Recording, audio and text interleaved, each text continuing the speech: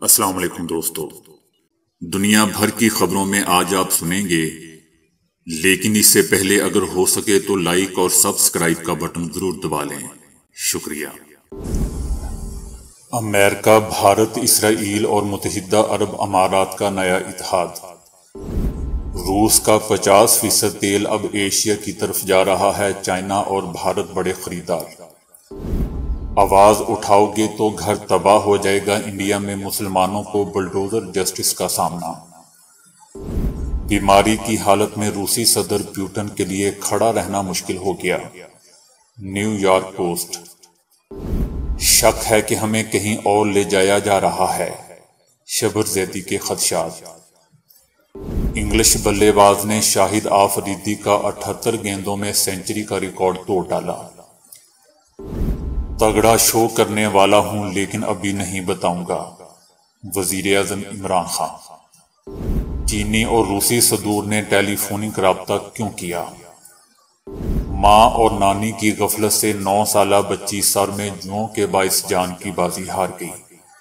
तो आइए चलते हैं अब खबरों की तफसील की जानेगा अमेरिका, भारत, इसराइल और मुतहदा अरब अमारात का नया इतिहाद कायम हो गया है। नए इतिहाद का नाम आई टी यू टू रखा गया है। इस ग्रुप में आई टू इंडिया और इसराइल के लिए और यू टू अमेरिका और मुतहदा अरब अमारात के लिए है। ग्रुप के क्याम का फैसला भारतीय वज़ीर खारजा के गुजशत बरस दौरा इसराइल के दौरान। दीगर तीनों ममालिक के वजरा खारजा के साथ मीटिंग में किया गया था। अमरीकी सदर जो बाइडन का आइंदा दौरा मिडल ईस्ट के दौरान आई टी यू टू से मुतली कॉन्फ्रेंस की सदारत करेंगे। कॉन्फ्रेंस में भारत, इसराइल, अमेरिका और मुतहदा अरब अमारात के सरबराहान शरीक होंगे। अमेरिका का कहना है कि भारत सार्फिन की बहुत बड़ी मार्केट है। साथ ही साथ ये जदीद टेक्नोलॉजी और इंतहाई मतलूब प्रोडक्ट्स तैयार कुनिंदा भी है। टेक्नोलॉजी, कारोबार माहौलियात कोरोना, वबा और सिक्योरिटी के शोबों में ये ममालिक मिलकर काम कर सकते हैं। बहरी जहाज़ों के ज़रिए ले जाने वाले रूसी तेल का निसफ हिस्सा अब एशिया की तरफ़ जा रहा है ख़ास तौर पर चाइना और भारत इसके बड़े खरीदार हैं। क्योंकि एशियाई ममालिक की तेल की मांग रूस की तोानाई की आमदनी में इजाफे का बायस बन रही है। रूस ने 10 जून को ख़त्म होने वाले हफ़्ते में योमिया तीन इशारिया पचपन मिलियन बैरल तेल रवाना किया, जिसमें तकरीबन 50 फ़ीसद एशिया की तरफ़ रवाना किया गया। रूस से चाइना की दरामदात जमूत का शिकार है। तहम भारत की खरीदारी में नुमाया इजाफा हुआ है। मई में रूस सऊदी अरब को पीछे छोड़ते हुए इराक के बाद भारत को तेल फराहम करने वाला दूसरा बड़ा मुल्क बन गया है भारतीय रिफाइनरीज हर रोज तकरीबन आठ लाख उन्नीस हज़ार बैरल रूसी तेल दरामद करते हैं। ये एक रिकॉर्ड है और ये दो लाख सताईस हज़ार बैरल से तकरीबन तीन गुना ज़्यादा है। इंडिया के मुतद शहरों में मुसलमानों के मकानात और कारोबारी इमारत गिराए जाने के खिलाफ एहतजाज फूट पड़े हैं। नाकदीन हुक्मरान जमात भारतीय जनता पार्टी के इन इकदाम को बुलडोजर जस्टिस करार दे रहे हैं, जिसका मकसद मुसलमान अकलीत को सजा देना है। याद रहे दोस्तों के बीजेपी के दो तर्जमानों की जानब से पैगंबर इस्लाम सल्लल्लाहु अलैहि के खिलाफ तोहन अमेज तबसरे के बाद इंडियन मुसलमानों में शदीद इश्तियाल पैदा हुआ। बीजेपी ने इन दो तर्जमानों में से एक को पार्टी से बर्खास्त, जबकि दूसरे की रुकनीत मअतल कर दी थी और बयान जारी किया था कि पार्टी किसी भी मजहबी शख्सियत की तोहन से कतई लातल्लकी का इजहार करती है। रियासत उत्तर प्रदेश के दो दीगर शहरों में भी एहतजाज करने वाले मुजाहरीन की अमला को बुलडोज़र के ज़रिए मिसमार किया गया, जबकि इससे पहले दहली में मुसलमानों की दुकानें तबाह कर दी गई थीं।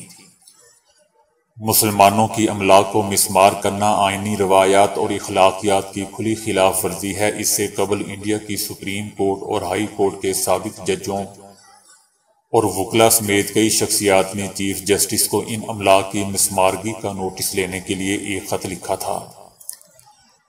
उत्तर प्रदेश की हुकूमत पर इल्ज़ाम आयद किया गया है कि वह मुजाहरीन के खिलाफ तशद के इस्तेमाल के ज़रिए इख्तलाफी आवाज़ों को दबा रही है। कई मुस्लिम ममालिक ने बीजेपी के रहनुमाओं के तोहन अमेज तबसरों पर सख्त तनकीद की थी और मुजाहरीन ने इंडियन मसनूआत के बाईकॉट का मुजाहरा भी मुतालबा भी किया था। जो इंडिया के लिए सफारती सतह पर एक नया चैलेंज बन रहा है, उत्तर प्रदेश में मुसलमानों की अमला को उस वक्त मिसमार करना शुरू किया जब वज़ीर अला योगी ने हुक्म जारी किया कि तमाम गैर कानूनी अमला को मिसमार किया जाए। योगी के मीडिया मशीन ने एक ट्वीट में बुलडोजर की तस्वीर पोस्ट करते हुए उसके साथ लिखा था कि, मुसलमान याद रखें कि हर जुमे के बाद हफ़्ते का दिन भी आता है। ये दोस्तों, एक धमकी थी कि अगर आपने हुकूमत या बीजेपी के खिलाफ आवाज़ उठाई तो आपका घर तबाह कर दिया जाएगा। कहा जा रहा है कि रूस के सदर प्यूटन के लिए अपनी टांगों पर खड़ा रहना भी मुश्किल हो गया है, क्योंकि कुछ ही देर में उनकी टांगें कांपने लगती हैं। अमरीकी मैगजीन न्यूयॉर्क पोस्ट के हवाले से बताया गया है कि एक अवार्ड तकरीब में शिरकत के लिए जब सदर प्यूटन पहुँचे और उन्होंने नहायत ही मुख्तसर खिताब किया तो उस दौरान उनकी टांगें मुसलसल कांपती रहीं। रूसी सदर की टांगें कांपने की वीडियो समाजी रबतों की वेबसाइट पर वायरल भी हुई है। दोस्तों, याद रहे कि रूसी सदर की सेहत के हवाले से आलमी जराई इबलाग में गुजशत कुछ माह से तसलसल के साथ खबरें मंजर आम पर आती रही हैं। आलमी जराई इबलाग की जानब से ये दावा भी सामने आया था कि सदर प्यूटन के डॉक्टर्स ने उन्हें सेहत की वजह से मशवरा दिया है कि वो किसी भी अवामी इज्तम में जाने या ज़्यादा देर तक खड़े रहने से इज्तना बरतें। रूसी सदर प्यूटन की दो तस्वीर भी शाया की गई हैं, जिनमें दिखाया गया है कि रूसी सदर की सेहत में नुमाया फ़र्क आया है, लेकिन हतमी तौर पर यह कहना मुमकिन नहीं है कि ये तस्वीर असली हैं या फिर किसी कंप्यूटर की शोबेबाजी का नतीजा है। मगरबी जराई इबलाग के मुताबिक रूसी सदर कैंसर के मूजी मर्ज में मुबतला हैं, जबकि रूसी हुकाम ऐसे किसी भी दावे को यकसर मुस्तरद कर चुके हैं। सबक chairman F P R Shabbar Zaidi ने कहा है कि आई एम एफ़ प्रोग्राम में जाने का फैसला काबीना या असम्बली में नहीं, बल्कि कहीं और हुआ था। सबको पता है कि वो फैसला कहाँ और किस मीटिंग में हुआ था, यानी जी एच क्यू में हुआ था। जब मैं सूरत हाल देखता हूँ तो शक होता है कि हमें कहीं और तो नहीं ले जाया जा रहा। उनका कहना था कि अगर हमें किसी और तरफ़ ले जाया जा रहा है तो कौम को जागना होगा। रजीम चेंज ने पाकिस्तान के हालात को ख़राब किया। उन्होंने कहा कि आईएमएफ प्रोग्राम में शामिल होना इस हुकूमत का फैसला या इरादा नहीं है, बल्कि ये तो आईएमएफ प्रोग्राम को मजीद तखीर का शिकार कर रही है और करने जा रही है। आर्मी के सामने एक मीटिंग हुई थी जिसमें शौकत तरीन मुफ्ता इस्माइल और हफीज शेख भी मौजूद थे, जिसमें फैसला हुआ था कि आईएमएफ के प्रोग्राम में जाएँगे। मीटिंग में इनसे पूछा गया कि आप संभाल नहीं सकते तो बता दें। मुफ्ता इस्माइल ने कहा कि हम संभाल सकते हैं और कमिटमेंट दी के पूरा करेंगे। शबर जैदी ने कहा कि लेकिन अब मुझे कमिटमेंट पूरी होती नज़र नहीं आ रही। आगे जो महँगाई का तूफ़ान आएगा, उसको आम आदमी तो बर्दाश्त ही नहीं कर सकता। कभी कभी ख्याल आता है कि जो कुछ भी हो रहा है, किसी डिज़ाइन के तहत तो नहीं हो रहा। सूरत हाल देखता हूँ तो शक होता है कि हमें कहीं और तो नहीं ले जाया जा रहा। अगर हमें किसी और तरफ़ ले जाया जा रहा है तो कौम को जागना होगा। शबर जैदी ने कहा कि हमें कॉर्नर किया जा रहा है, हमें बहसीत कौम इससे निकलना होगा, रजीम चेंज ने पाकिस्तान के हालात बदतरीन कर दिए। इंग्लिश बल्लेबाज जॉनी ने न्यूजीलैंड के खिलाफ सीरीज़ के दूसरे टेस्ट मैच में शाहिद आफरीदी का रिकॉर्ड अपने नाम कर लिया। इंग्लैंड को मैच जीतने के लिए बहत्तर ओवर्स में से दो सौ निन्यानवे रन दरकार थे तो जोनी ने जारहाना खेल का मुजाहिदा करते हुए महज सतहत्तर गेंदों में ये संगे मील उबूर करते हुए टेस्ट मैच की चौथी इनिंग्स में दूसरी तेज तरीन सेंचुरी का रिकॉर्ड अपने नाम कर लिया। शाहिद आफरीदी ने दोस्तों वेस्ट इंडीज के खिलाफ बुर्ज टाउन में अठहत्तर गेंदों में सेंचुरी स्कोर की थी। वज़ीर अजम इमरान खान का कहना है कि पाकिस्तान पहला मुल्क नहीं है जहाँ अमेरिका ने वज़ीर अजम और हुकूमत को तब्दील किया हो। अगर हमने स्टैंड नहीं लिया तो आइंदा भी यही कुछ होता रहेगा। और कोई वज़ीर अजम आज़ाद खारजा पॉलिसी नहीं बना सकेगा। अमरीकियों को जानता हूँ, उनके सामने जितना झुकेंगे वो और जूते मारेंगे। वज़ीर अजम इमरान खान का कहना था कि नेशनल सिक्योरिटी कौंसिल ने तस्लीम किया कि मुदाखलत हुई है। पाकिस्तानी सफीर को कहा गया कि इमरान खान रूस क्यों गया? अमेरिका नाराज़ है। वज़ीर अजम इमरान खान को ना हटाया गया तो पाकिस्तान को मुश्किल का सामना होगा। अगर हटा दिया तो पाकिस्तान को माफ़ कर दिया जाएगा। जबकि अमरीकी सफारत खाना अपोजिशन नुमाइंदों से मुलाकातें भी करता रहा। उन्होंने कहा कि मुझसे फ़ौज ने कहा कि तहरीक अदम एतमाद आइनी तौर पर कबूल कर लेना चाहिए। वज़ीर अजम इमरान खान ने कहा कि नैब और एफ़ आई ए पर शहबाज शरीफ आकर बैठ गया। अब नया कानून आ गया कि बिल्ली दूध की रखवाली करेगी। तमाम अफसरान तब्दील कर दिए गए डॉक्टर रजवान हार्ट अटैक से इंतकाल कर गए फैसलाबाद में जो अफसर तहकीकात कर रहा था, उसने अपने आप को मार लिया। और मकसूद चपड़ासी बैरून मुल्क में मर गया वज़ीर अजम इमरान खान ने मजीद कहा कि तगड़ा शो करने वाला हूँ, लेकिन अभी नहीं बताऊँगा कि क्या करने वाला हूँ। मुल्क की हकीकी आज़ादी के लिए सबको निकलना है मौजूदा बहरान का वाहिद हल साफ़ और शफाफ इंतबात हैं। यकीन दिलाता हूँ कि कानून के दायरे में रहते हुए अपना नया और तगड़ा शो करूँगा। अमरीकी सदर जो बाइडन के अगले माह मिडल ईस्ट के दौरे से पहले चाइना और रूसी सदूर का टेलीफोनिक रबता हुआ है। चीनी सदर ने प्यूटन से कहा है कि तमाम फरीकैन को यूक्रेन बहरान के हल के लिए काम करना चाहिए। चीनी सदर ने सूरत हाल को हल करने में मदद के लिए चाइना की आमादगी का भी अदा किया। चीनी सदर ने मजीद कहा कि चीन रूस की खुद मुख्तारी और सलामती की हिमायत जारी रखेगा। दोनों रहनुमाओं के दरमियान तोानाई फाइनेंस, ट्रांसपोर्ट और दीगर शोबों में तावन को वसात देने पर भी इत्तेफाक हुआ। यूक्रेन पर रूसी हमले के बाद दोनों रहनुमाओं के दरमियान फ़ोन पर यह दूसरा रबता है। दोस्तों, याद रहे कि अमरीकी सदर जो बाइडन अगले माह मिडल ईस्ट का दौरा करेंगे और उस दौरान वो इसराइल, फलस्तीन और सऊदी अरब भी जाएँगे। नौ साल बच्ची सर में जुओं की वजह से अपनी जान से हाथ धो बैठी, जबकि वालिदा और नानी को गफलत बरतने पर गिरफ़्तार कर लिया गया। अमरीकी रियासत एरिजोना में एक घर में डॉक्टर्स को बुलाए जाने के बाद नौ साल बच्ची मुर्दा पाई गई, जबकि उसके चेहरे पर भी उनकी बड़ी तादाद मौजूद थी। डॉक्टर्स की जानब से मुआयना करने पर पता चला कि बच्ची के बालों में उसकी तादाद बहुत ही ज़्यादा थी। बच्ची की माँ ने मुबैना तौर पर कहा कि उसकी बेटी खून की कमी का शिकार थी। जबकि बच्ची को सांस लेने में भी मुश्किल हो रही थी और बुखार, सर दर्द, गले में सोजिश की अलामत के साथ उसे ताबुन बरकरार रखने में दुशारी भी हो रही थी। पोस्टमार्टम रिपोर्ट के मुताबिक लड़की की मौत जुओं के इन्फेक्शन से होने वाले खून की कमी से हुई और उसके जिसम में गजाइत की भी कमी थी। मुतासरा लड़की के बड़े बहन भाइयों में से एक ने पुलिस को बताया कि उनकी माँ ने माउथ वाश के ज़रिए जुओं का इलाज करने की कोशिश की थी। वालिदा के मोबाइल में टेक्स्ट मैसेज से ज़ाहिर होता है कि उन्होंने अलामत ज़ाहिर होने के बाद बच्ची को डॉक्टर्स के पास नहीं लेकर गई। इसके अलावा लड़की की नानी को भी मालूम था कि वो शदीद बीमार है, लेकिन उन्होंने भी उसे हॉस्पिटल ले जाने से इनकार किया।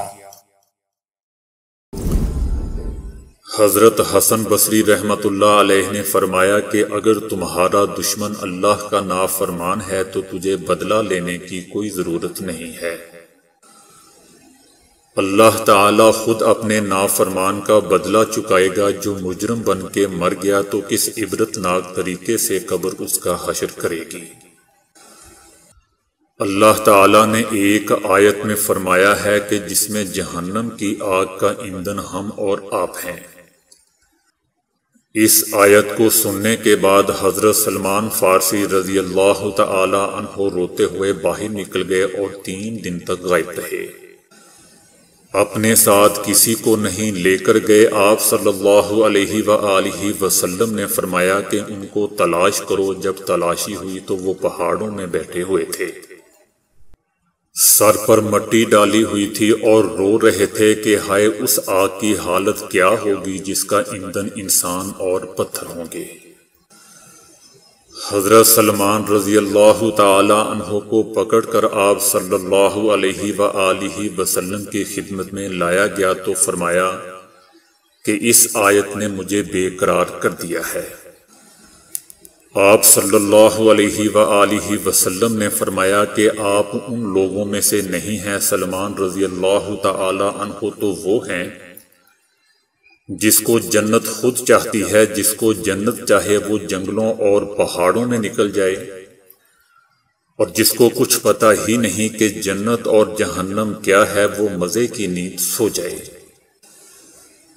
एक सहाबी रज़ी अल्लाह तहो तहजद की नमाज़ में रो रहे थे कि ए अल्लाह, जहन्नम की आग से बचा आप सल्लल्लाहु अलैहि व वसल्लम ने आकर देखा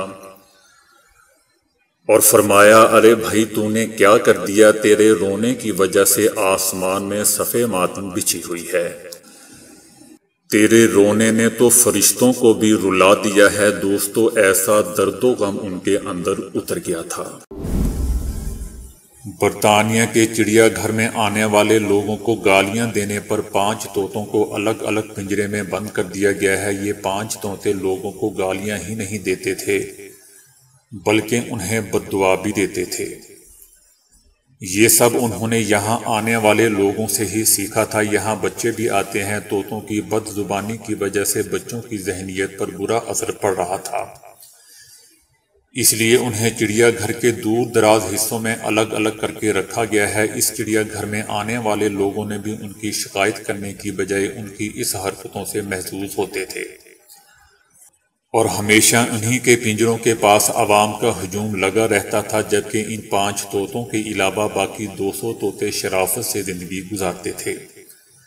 तो इसी वजह से उनके पास कोई भी शख्स नहीं आता था। दोस्तों, इस तजर्बे से साबित हुआ कि शरीफ की कोई ज़िंदगी नहीं, शरीफों को कोई नहीं पूछता।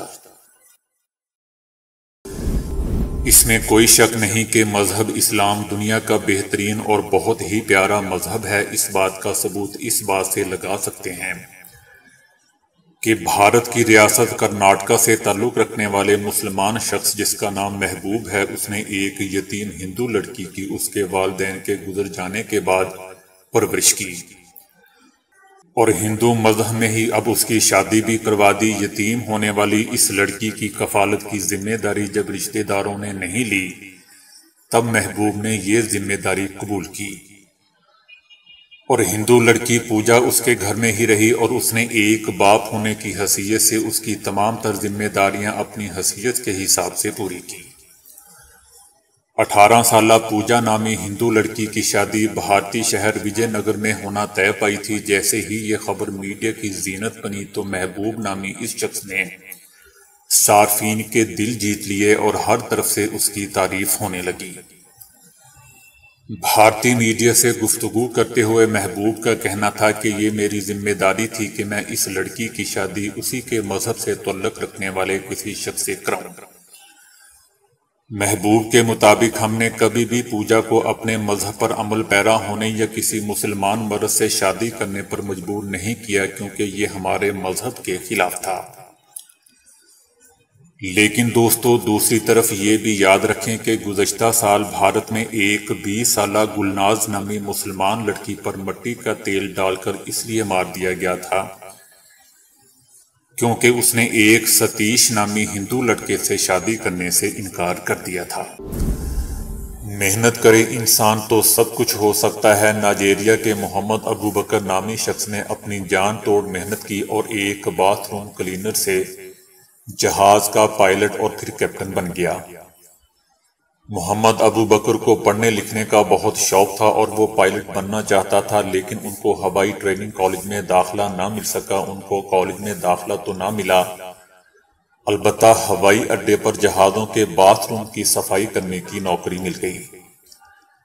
जिसको उन्होंने ना चाहते हुए भी तस्लीम किया, यूँ वक्त गुजरता रहा। अबू बकर को जहाज़ उड़ाने की समझ आती रही। आहिस्ता आहिस्ता उसने अपने सीनियर से बात की और ट्रेनिंग ले ली, जिसके बाद उसने पायलट का लाइसेंस वसूल करने के लिए दरख्वास्त दी। उसको कमर्शियल फ़्लाइट के पायलट के तौर पर नौकरी मिल गई। यूँ चार साल बाद मोहम्मद अबू बकर नाजेदीन कौमी फ़्लाइट का कैप्टन बन गया। आपको दोस्तों जानकर हैरत होगी कि जब उन्होंने बाथरूम क्लीनर के तौर पर अपना कैरियर शुरू किया तो उस वक्त से पायलट और फिर कैप्टन बनने में उनको तेईस साल का अरसा लगा।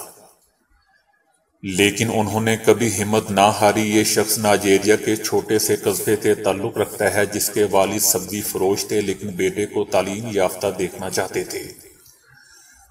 उसके लिए उसके वालिद दिन में सब्ज़ी बेचते और रात को कचरा चुनते थे। आखिर बाप और बेटे दोनों की मेहनत रंग ले यूँ तेईस साल की कड़ी मेहनत के बाद अब मोहम्मद अबू बकर एक बाकायदा कैप्टन बन चुके हैं। तो दोस्तों, अभी के लिए इतना ही। वीडियो को लाइक और शेयर करने का बहुत बहुत शुक्रिया।